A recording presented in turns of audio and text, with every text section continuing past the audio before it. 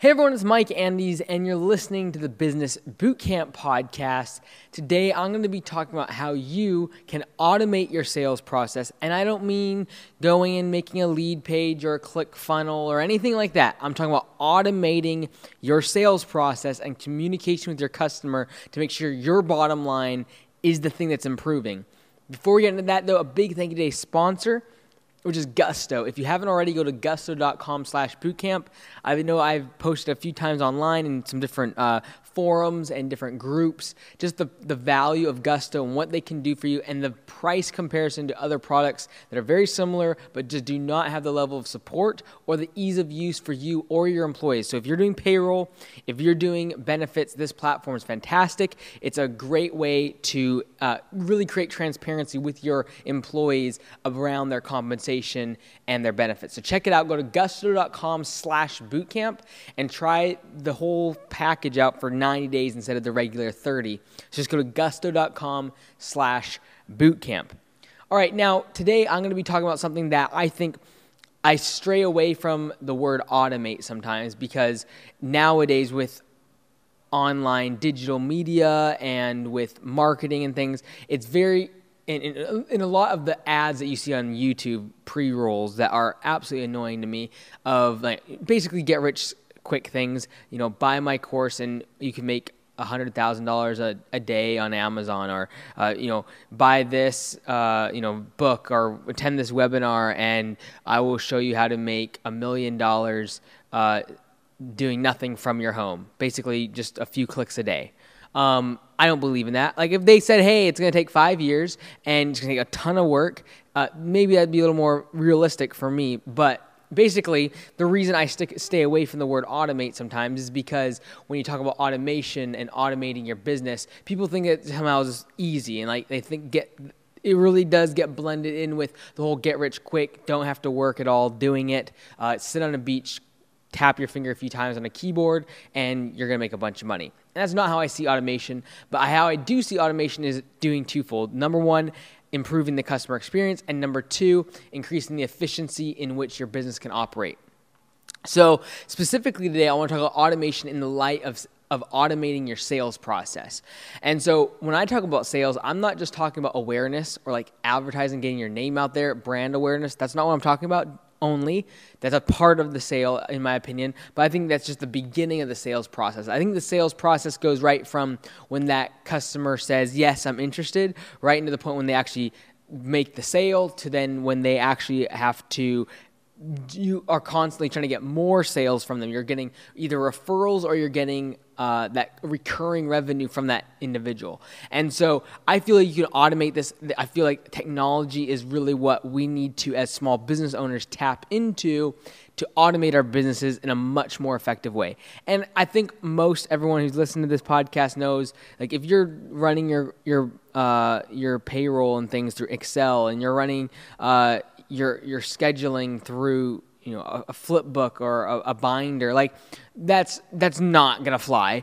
And so but using technology i genuinely believe you can automate even to a further extent the process of your sale. So i'm gonna actually talk about a couple examples in my own life and whether my businesses or just recent experience that i felt the experience I had as a customer or the experience I create for customers is one that is automated in order to make a certain sale actually transact. So the first one was so I have this I have had a dentist for several years and uh, basically what happened is they called me a few weeks before my appointment to confirm it. I said yes, uh, and then of course I forgot. It was on my calendar, but somehow I forgot. And uh, they call me 10 minutes after I'm supposed to be there and say, hey, just making sure you're okay. Uh, you know, just a reminder that it's a $99 cancellation or no show fee. So I was like, oh man. Well, the thing is, is that I never answer my phone. And so I hadn't received the message from the day before that was confirming my appointment because I never check my voicemails, but maybe once, once or twice a week.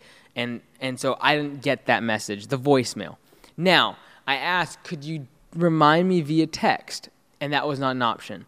And so I was like, okay, And I literally made the decision. I literally made the decision to switch dentists because my current dentist could not remind me about my appointment via text message. Because I'm not going to be able to answer the phone, and then I'm not going to be able to get the voicemail usually within the first 24 hours of it being left.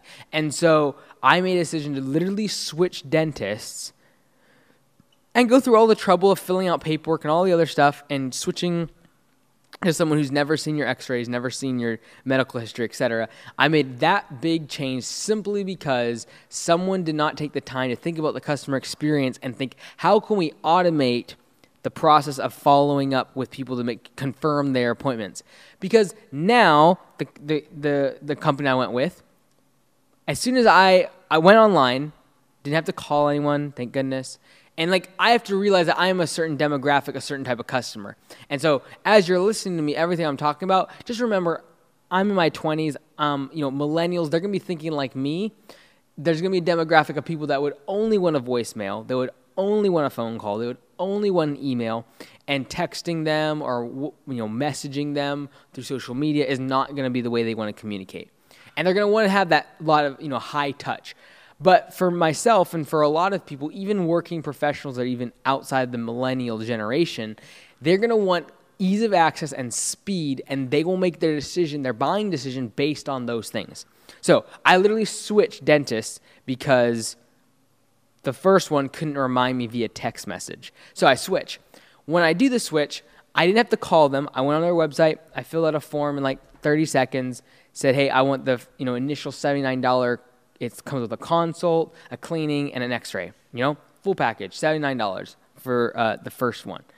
And so I was like, great, fantastic. I just clicked that box. I filled in my name and stuff.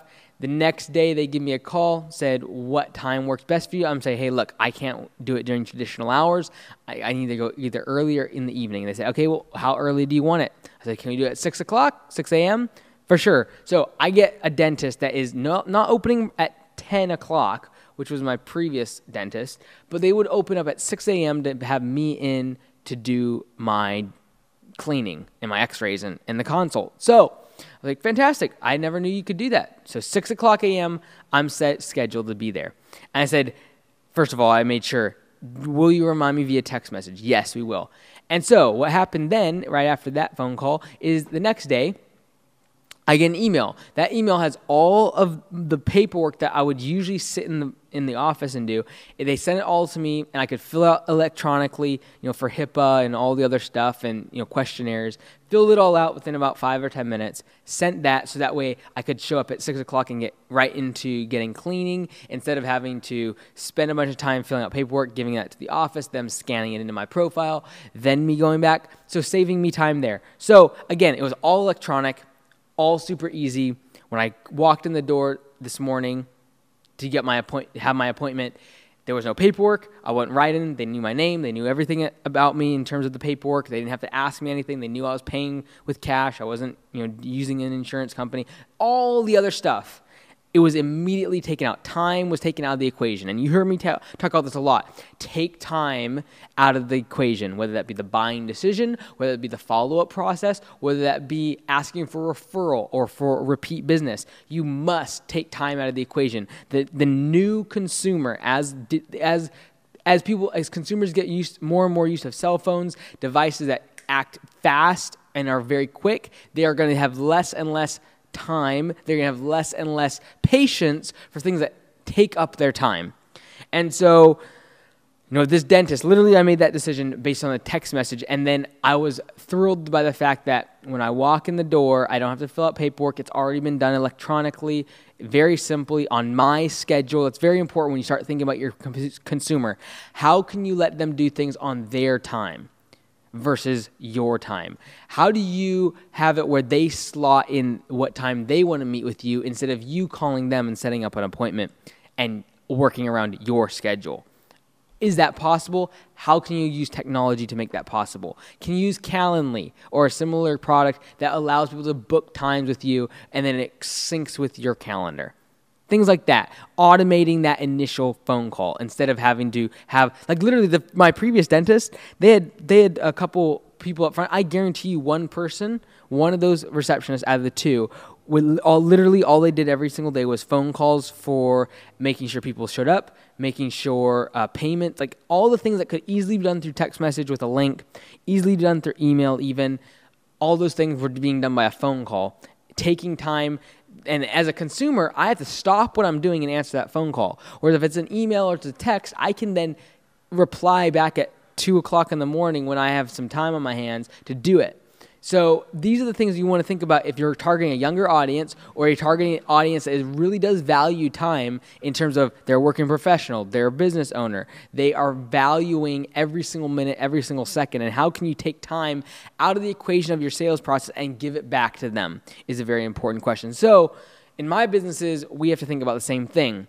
So for Augusta, my landscaping company, we're always asking, always testing every single you know week, trying to change something to make the sales process more automated. So we've tested everything from instant quotes, which basically uses an algorithm to scan the property from a satellite image, determining what is the square footage of the grass, not just the property, but the, just the grass, and then immediately fires them a number for an estimate. So literally, they are able to get estimates within three seconds of entering just their address into our into our uh, our our website contact form. We ended up actually nixing that because it was too inaccurate.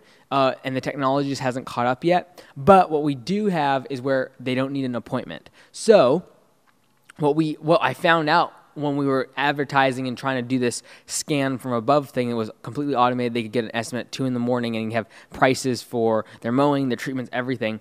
And it wasn't accurate enough for us to keep. However, what it did make me realize, because again, you've heard me talk about this before, is test, test, test marketing. Like test all different ways of doing it and find what works. And I found, yes, it wasn't super accurate, and no, we didn't keep using it. But what I did find is that a few words on those ads is what was catching people's attention. And what it was was no appointment needed. All right. So all I did was fill up. I, I, I said, need an estimate for your lawn. That was like the title. Number one was click the link below that says get quote. Number two, fill out the form with your address. Number three, receive your estimate. And then in bold with bold caps below put no appointment needed. So they knew that when they clicked on get quote, they did not have to make it they didn't have to call someone, they wouldn't have to set up a time to schedule with an estimator. They'd be able to get their estimate without having to have, make an appointment. And so what we did is even though it wasn't an instant quote anymore, the office would be able to take that information, make you know from an aerial view, get the square footage and send that estimate. No appointment needed. And so how, how do you do that? Well, that t- takes out the most expensive individual from having to go to do estimates, and that's the estimator. The estimator is usually you know the most experienced, has is cost the most for the company, and yeah, that person is driving around all over the place trying to do estimates when. Using a piece of technology, you get the estimate faster to the client. It could be just as, if not more, accurate in its estimating and furthermore, it improves the level of perception to the customer that you're not going to waste their time, that you're going to put the time back in their hands. And if there's anything you can do to give your customers time, it'll make you successful. Everything from Uber to Airbnb the reason they've been successful is the notion that they give time back to the consumer and people are willing to pay for time. And so if right from the get-go, right from the very beginning of the relationship, I'm saying, "Look, I respect your time. You don't need to make an appointment." And within 30 seconds, of putting your address in, you can send a form away to us, and the next day you're going to have an uh, we'll use the same day. You're going to have an estimate for your lawn care, and if you click accept, again, no phone call needed, no email needed, no none of that. Just click accept, and as soon as you do that, we're going to get you set up, and then it's going to automatically send you a, a, form to fill out your credit card, which is then going to attach to your profile. So you no longer have to send checks. You don't even have to pay your bill every month. It'll just automatically come off auto pay. Again, all those steps are automated. And so no appointment required was a big thing for us in terms of our, our, our Facebook ads and Google ads that worked really well.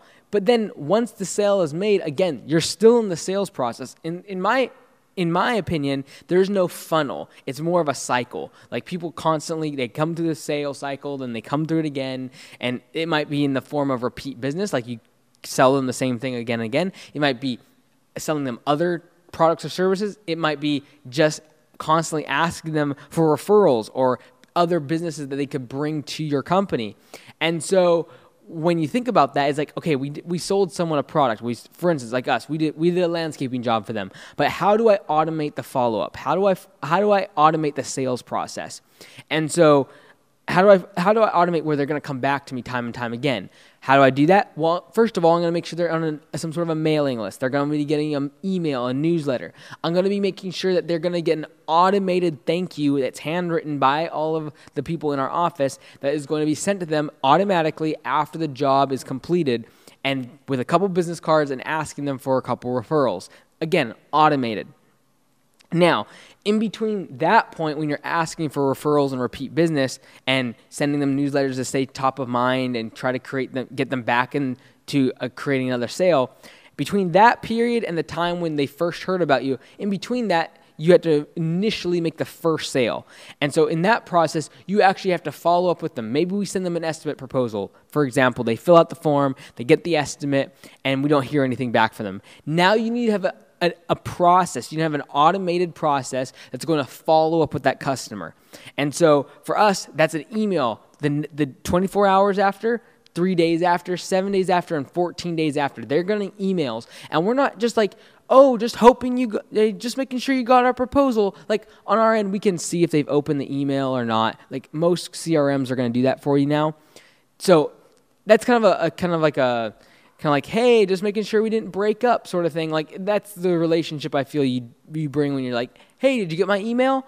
Um, how we do it is when we email them, we're trying to educate them and give them more information. So information based selling. So in that first email, follow up email to them the day after, we are basically saying, hey, we know that price is a big part of this decision, and this is something that you should not stray away from. You should explain your prices. Either you're high, you're in the in the middle, or you're low. And if you're low, make sure they know that. If you're in the middle, tell them why you try you, what you're doing to stay competitive. If you're high, explain why. The value that you propose, you give higher and above that of your competitors.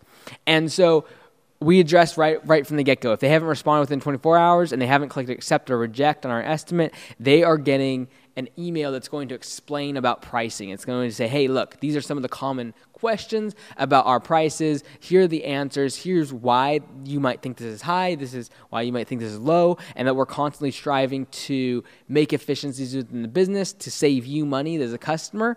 And we explain the price structure of the whole company. That's day one. You know, usually that gets a response back because they're like, well, I think you know, thank you for addressing my concerns. Price was a big issue; it's a little bit more than we could afford, and we opened up the communication again with them to talk about maybe reducing the scope of work or doing something to massage those numbers in order to take away take away certain products or services or consolidate things or whatever, uh, to, in order to make that that a reality and make that sale process. Now, if they don't respond after that first one, three days later, again, we're using information to educate them. If they did ask for a landscaping job, to, so for example, they want a paver patio. That third day, I'm going to make sure they have pictures and videos of, of paver patios. Again, automated. And I think in that seventh day, would they have a customer testimonial video. On the 14th day, if they haven't accepted our proposal in our industry, like there's a really good chance they're probably never we're never going to hear from them again. So that's when we're like, hey, look, we're on we're trying to get you on the schedule. Uh, it's filling up. When would you you know? And we propose a, a, a date down in the down the road. Again, it's all automated. And so I really believe that everything from awareness and this is like when awareness is the thing that gets all the all the attention. That's like Facebook ads, Google AdWords. When you're trying to just make a customer aware of your business, branding, your signage, all of that. That's awareness, awareness, awareness, awareness. But right from there, all the way to the point where we've made the sale, everything's gone good. Uh, you you've asked for referrals, and then you know you start getting them keeping them warm inside some sort of a cycle to keep them getting them back repeat business right through that entire process you have to be asking yourself, how can I save my customer time? And how do I automate the sales process, right? From awareness, how do I how do I automate my ads? How do I automate? if you're doing Facebook ads, why would you want to make it where you have to go in and allocate funds to whichever ad is doing best? Why not do it under an ad set where there's multiple ads and then Facebook can figure out which one has the best click ratio, which one has the best cost per click, which one has the best uh, uh, engagement with your audience, and then push more money towards and allocate more funds towards those ads? Again, it's just automating every single step from awareness all the way to the point where, for example, like us, we are sending out thank yous and, handwritten letters and, and at the end of the job and asking for referrals, asking for online reviews. All that should be automated, that entire process. Um, and then, even, for example, just take another example, uh, for the gym that I own, we've, you know, recently the franchisor at Anytime Fitness, uh, they've allowed online signups. What that has is is really addressing is the fact that there's a different type of consumer that is really wanting to not have to come in during staffed hours and is wanting to be able to buy a gym membership at two in the morning, is wanting to buy a gym membership uh, after eating a pizza at 11 p.m. and they feel like an absolute bum. And so that is the moment you have to have to reach them is when they're behind a phone. So much of the attention is on a cell phone and on those the mobile device at this moment in time and on social media. That's where you're going to catch them. How you if you're going to catch them on those devices, it's very like this is this is my my philosophy. Where you contact a customer and they become aware of you is the mode of communication in which they usually want to to transact with your business throughout the sales process. So, for example, if someone comes through Facebook Messenger and messages our company, there's a really good chance there's that they're going to want to communicate through Facebook Messenger. They obviously reached out to us via that mode.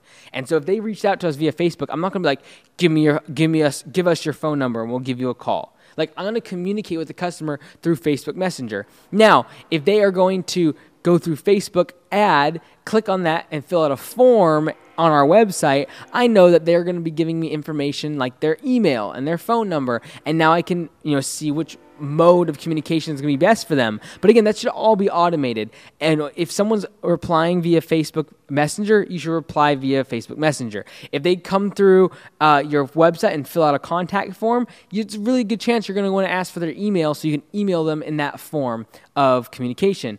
If they go onto your website though, and right below the form, there's a thing that says call now, and they click that and they call you, there's a really good chance they're the type of person that's going to want a phone call in order for the communication and the sales process to continue.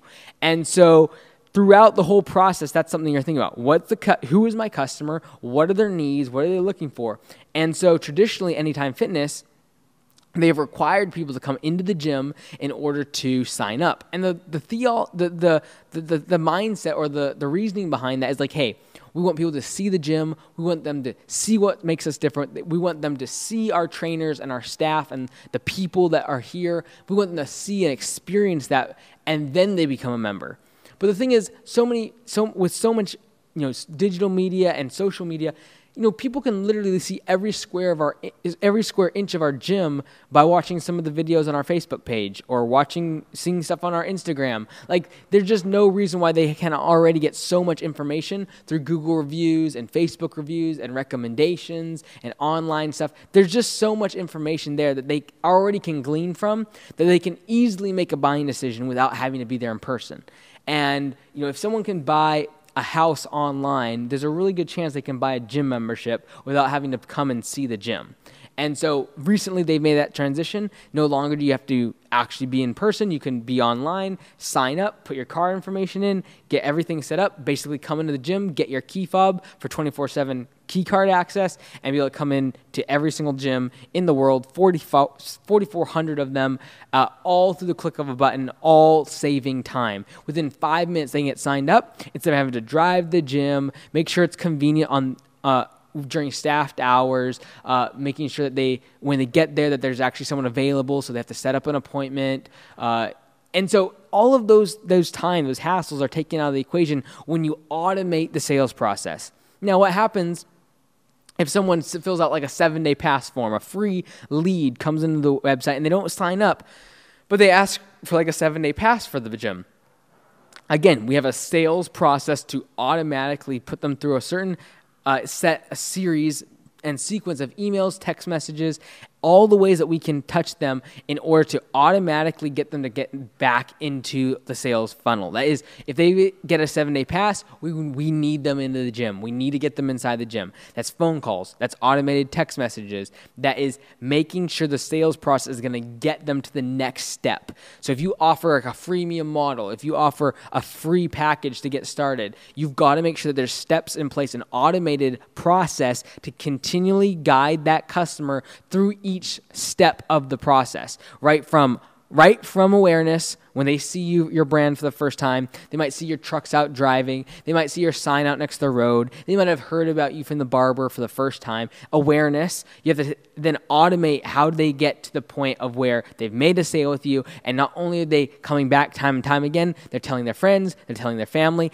and again you've automated the process of the sale. So i'd ask yourself two questions. I ask yourself, ask yourself two questions number one how can you save the time of your customer? How can you save them time?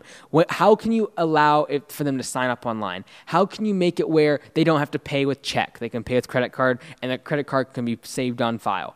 How can you make it where they don't no longer have to come in and order or pick up the dog food from your store? That dog food is automatically shipped to them on a subscription based service. Uh, how can you do that in order to save them from driving to your location? This is the reason why retailers are getting wiped out, is because Amazon has taken time out of the equation where people can now pick up their phone and shop for whatever they want. And no longer do they have to go drive to the department store, drive 30 minutes away to the largest mall, and have a, you know, so they can get a 40 different stores inside of that mall. No longer do they have to do that. They can go open up their phone and instantly have access to thousands and thousands of stores just with the click of a button. And so, how do you differentiate yourself? How do retailers, retailers differentiate themselves? They attack in the same way. How do they save the customer time? Instead of waiting two days for prime shipping, how can we get the customer the day of? How can we get them on a subscription base where they don't even have to ask for it? They don't even have to think about it. It's already done for them. That's the number one. How can you save the customer time? How do you save the time of your customer? Number two is how can you save your time? As the business owner and as your enterprise, how can you save your time by automating the sales process from awareness to repeat business and referrals? I hope something in, today's episode helped you. I know I, I talked about some specific in my business and in my some of my experiences, but those things can be really uh, taken across the entire board of industries and different types of businesses.